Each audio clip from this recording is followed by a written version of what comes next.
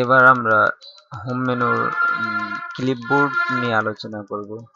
তো ক্লিপবোর্ডের মধ্যে কি কি আছে সেটা আমরা এখানে দেখতে পাচ্ছি যে কপি পাস্ট ফরম্যাট প্রিন্টার তো আমি কপি পাস্ট করতে হলে আগে প্রথমে আমার সিলেক্ট করতে হবে। আমি যতটুকু অংশ কপি করতে চাই বা কাট করতে চাই, তো আমি এতটুকু অংশ সিলেক্ট করলাম। সিলেক্ট করলে এই জায়গা থেকে কপি কপিতে ক্লিক করলাম, তাহলে এটা কপি হয়ে গেল। এবার আমি এই কার্সার মাউসের পয়েন্টার এই কার্সারটা আমি যেখানে পেস্ট করতে চাই, সেখানে নিব।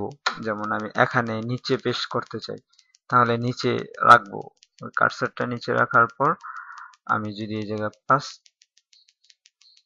ক্লিক করি তাহলে আমার ওই উপরের যতটুকু অংশ আমি সিলেক্ট করেছিলাম তদ্রুপ এই জায়গায় আবার কপি হয়ে গেছে।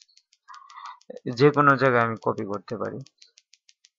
আমি আবার যদি নিচে আরেকটা কপি করতে চাই, তাহলে এই জায়গায় আবার পাস দিলে, তাহলে আবার কপি হয়ে গেল। এইভাবে এক থেকে মানে এইভাবে কপি করা যায়। কপি করার আরেকটা নিয়ম আছে, সেটা হচ্ছে আমি দেখাচ্ছি, সেটা হচ্ছে আগে সিলেক্ট করবেন। অংশটুকু যতটুকু কপি করতে চান, অতটুকু সিলেক্ট করবেন। মাউসের ডান বাটন ক্লিক করে, করার পর এই জায়গায় আবার অপশনগুলো আসবে কপি কাট পাস কপি তো আমি কপি করলাম।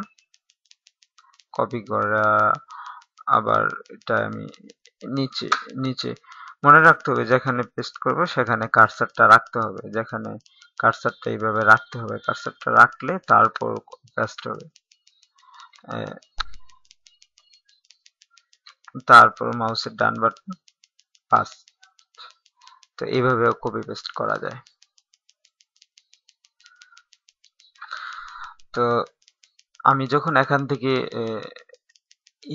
এই এটা কপি করছিলাম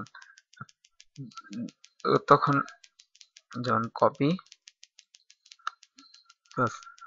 তো এই লেখাটা এখানে ঠিকই রয়ে গেছে। এবং নতুন করে এই জায়গায় আসছে তো আমি যদি চাই যে আসলে নতুন করে আসবে না এই এই লেখাটাই চলে আসবে।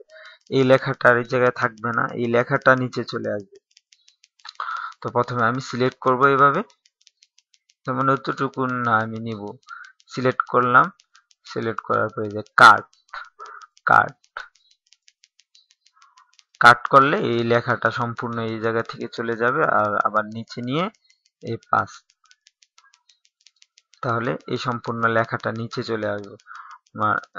মুভ হয়ে গেল। প্রথম থেকে লাস্টে লেখাটা মুভ হয়ে গেল। তো এইভাবে কাট করা যায় এখান থেকে। এটা মাউসের ডান বাটন চেপেও করা যায়। কাট আবার নিচে রেখে মাউসের ডান বাটন চেপে পাস্ট তো এইভাবে কাট কপি কাট করা যায়। তো এবার যে জিনিসটা দেখব আমরা, সেটা হচ্ছে ফরম্যাট প্রিন্টার অর্থাৎ আমি এটা হচ্ছে একটা লাইন তো এই লাইনটাকে যেহেতু এটা প্রশ্ন, এটাকে আমি বোল্ড করলাম, একটা রং দিলাম। হুম বোল্ড করলাম, রং দিলাম একটু ইটালিক করলাম। তো এটা প্রশ্ন আর এগুলা হচ্ছে আনসার তো আমি চাচ্ছি যে এই যে, এখানে যে ফরম্যাটিংটা করছি, যে রংটা দিছি যে বোল্ড করছি ইটালিক করছি, এইটা যেন এই প্রত্যেক প্রশ্নের মধ্যেই থাকে। যদি আমি দিতে চাই, তাহলে এটা শর্টকাট দেওয়ার নিয়ম হচ্ছে আগে আমি এই প্রথম লাইনটা সিলেক্ট করব। সিলেক্ট করে এখানে ডবল ক্লিক করব। এবার আমি যেখানে যেখানে এরকম করব, সেখানে সেখানে ঠিক আগের মতো হয়ে যাবে। আমার বারবার ধরে করতে হচ্ছে না। আমি শুধু সিলেক্ট করতেছি। আমি আমি সিলেক্ট করার সাথে সাথে এটা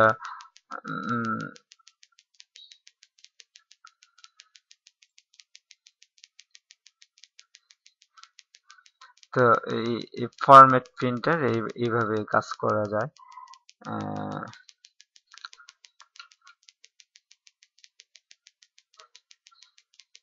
তো আমি একটি লাইন ফরম্যাটিং করছি এবং এটা এটাকে ফরম্যাট প্রিন্টার দিয়ে আমি এটা কপি করে এবং প্রত্যেকটা লাইনের মধ্যে দিয়ে দিছি। এটা শর্টকাট কাজে ব্যবহার হয়।